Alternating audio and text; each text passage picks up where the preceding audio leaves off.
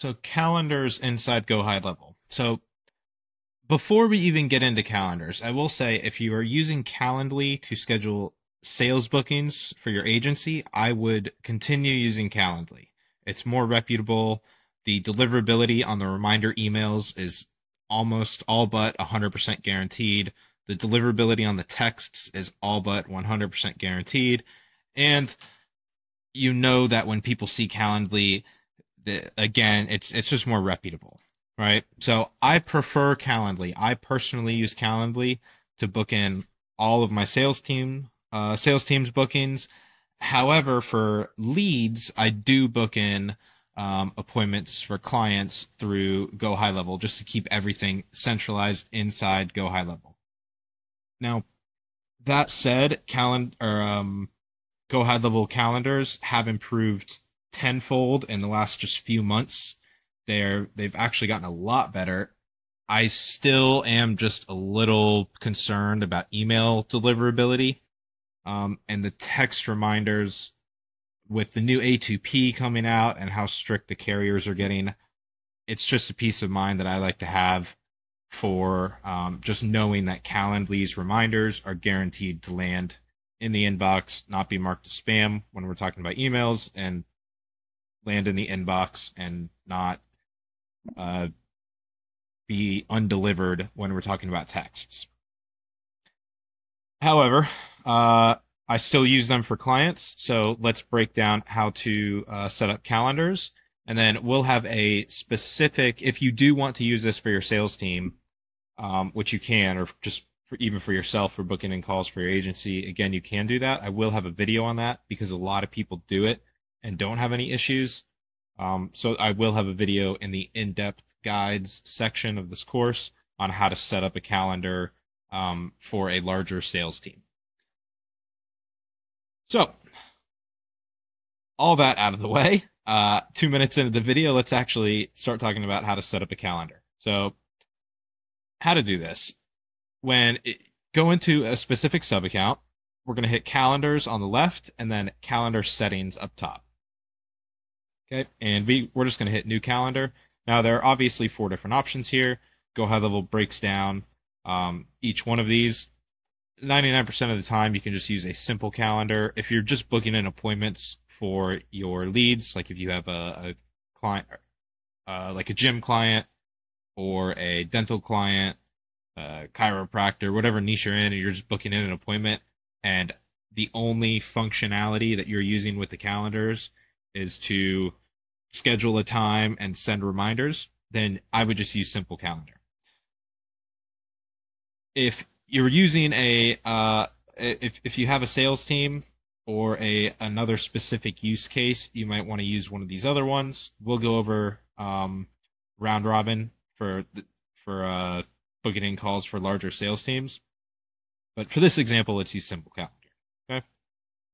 So we'll hit select, and we have to name the calendar. Uh, call this primary calendar.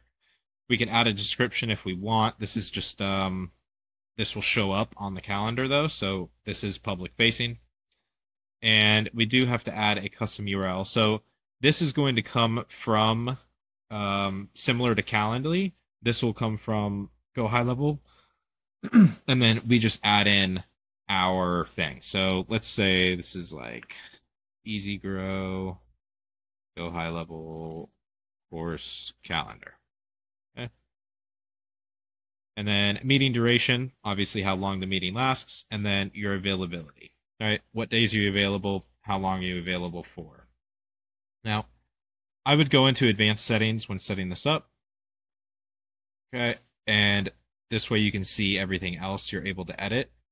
Um, again, you, you can change the name right here. You can change the description, which is public facing.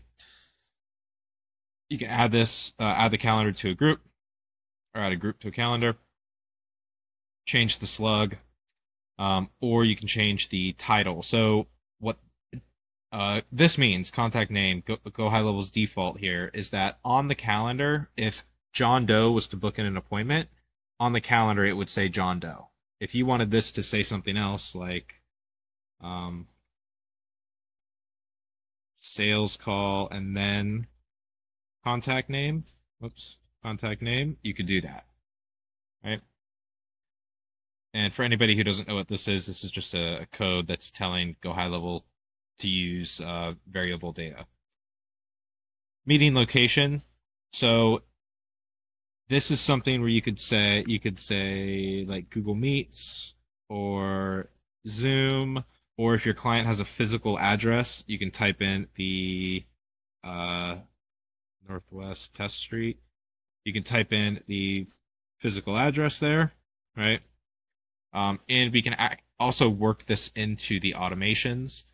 So when we're sending automated texts to remind them about a booking, we can say, hey, uh, our location is, and then uh, we would just put in the meeting location for the appointment as opposed to actually typing it out inside the automations. That way, if they ever move, like move locations, you don't have to change all the texts and all the emails that you're sending out. You just come in here and change the location on the calendar, and it will uh, it'll change it for all of the uh, texts, and you only have to edit it once, right? So availability, because we're in the advanced settings, uh, we have some more control over the availability. Uh, this stuff's pretty self-explanatory. I'm not going to break it down. Um, again, self-explanatory. I don't want to break this down. Uh, meeting interval. So this means how often can people schedule. So if you put this into like 45 minutes, that means people can schedule every 45 minutes. Uh, 15 minutes or like a half hour means like they could select 1, 130, 2, 230, 3, 330, and so on. Uh, how long this lasts is meeting duration. Scheduling notice, how soon can people book? Can they book, you know, if you do this, they can book immediately with like five minutes notice. Uh, they need, you know, it blocks off your calendar for 48 hours. Um, and then they can only book in 48 hours afterwards. Um, date range, yes. So this would be how far out can they schedule? So let's say like five days. So we don't want people to schedule any further than five days out or any sooner than one day, right? Maximum bookings per day. What I like to do is I like to go unlimited on this and then uh, limit it to the slot. So like if my if I'm running appointments for a gym, for example, and they can only take on three people per class, then I will just come in here and max this out at three, but allow the the bookings per day to be unlimited. Uh, buffer time is just how much time will it give you after the. So if you have a 30 minute appointment, this will block off your calendar for 45 minutes total. Okay, very similar. If any, if you guys are using Calendly, it's almost identical. Um, forms and payment. So you can select or you can collect payment um, when people book in. So if you want to collect payment for your client when somebody books in, like maybe you're not offering them a free session, maybe you're offering them a session for $25. You can do that here.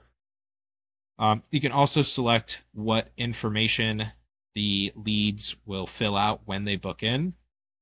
So Go High Level will give you a default form which is they fill out their first name, last name, email, phone, and notes. Or you can go into forms and you can actually create a form for them to fill out. So if you want more information than this, or if you want less information for some reason, just trying to reduce resistance, then you can edit the form that they are uh, filling out, edit the, the information they're filling out. So pre-populated fields, um, I would actually always turn this on so especially this is very nice for when uh, leads will use an opt-in form and then they're redirected to a calendar form.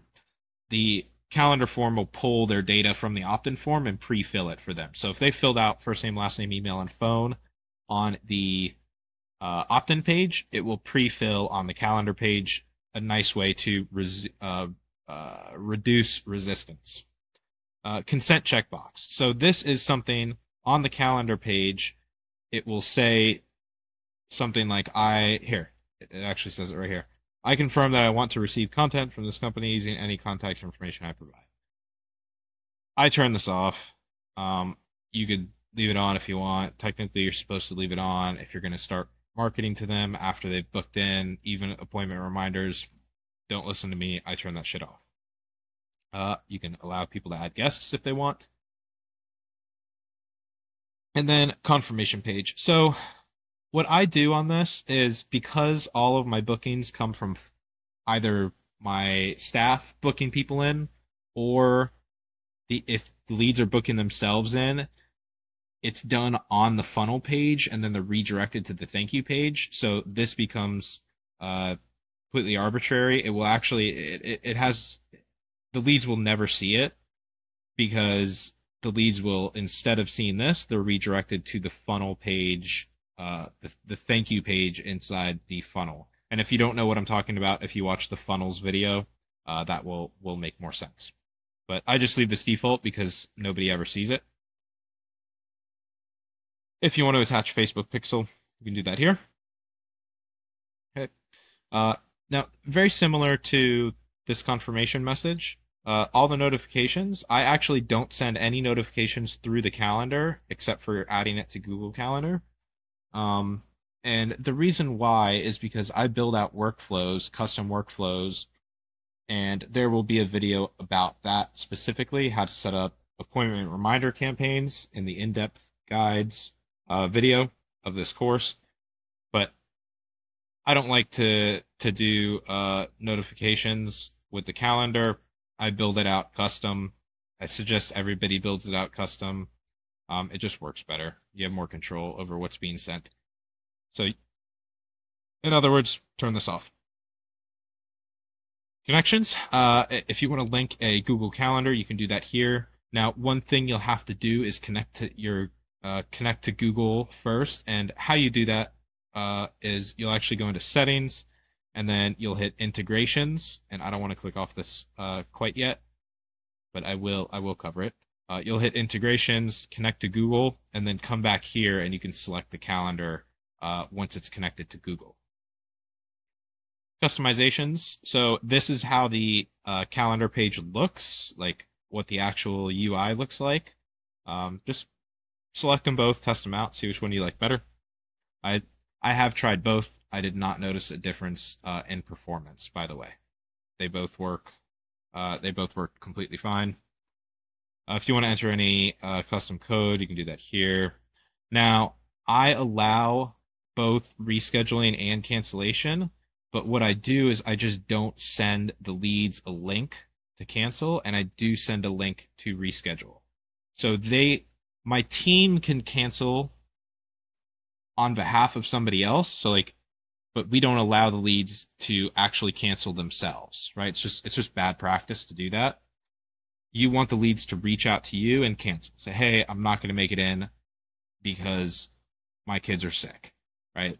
Then you can cancel the appointment on the back end and you you actually have a conversation started with that lead instead of just the lead canceling and then they fuck off and you never know why and it's just the conversion rate is better um, if you don't allow the leads to cancel or you do allow cancellation to happen, but you don't give the leads a link for them to do it themselves. I hope that makes sense.